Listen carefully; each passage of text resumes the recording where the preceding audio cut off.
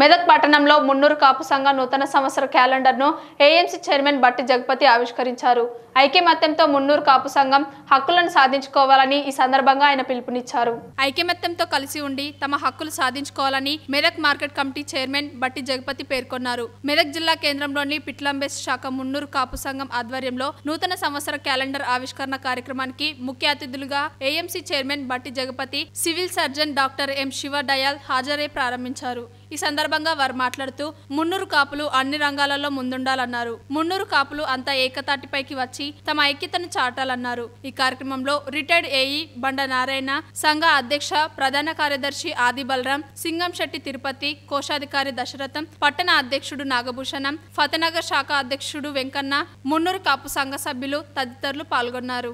ఆర్థికంగా బలపడతా ఉంటుంటే ఆర్థికంగా ఉండాలి విద్యారంగంగా ఉండాలి అన్ని రకాలు ఉండాలి. అందరికి చదువు రాకపోవచ్చు. ఒక మంచి మెకానిక్ కావాలి ఒక మంచి ఇంజనీర్ కావాలి ఒక మంచి మేస్త్రి కావాలి మంచి కాంట్రాక్టర్ కావాలి సివిల్ కాంట్రాక్టర్ అయితే డబ్బులు సంపాదించుకోవాల్సిన అవసరం ఉంటుంది. డబ్బులు సంపాదించుకుంటే మన సంఘానికి ఇప్పుడు పక్క భూమి కూడా ఆ ఎంకన్నది ఉన్నది. అది అడగవలసిన అవసరం ఉన్నది. అడుగుదామని కూడా ఆలోచన చేస్తున్నాం.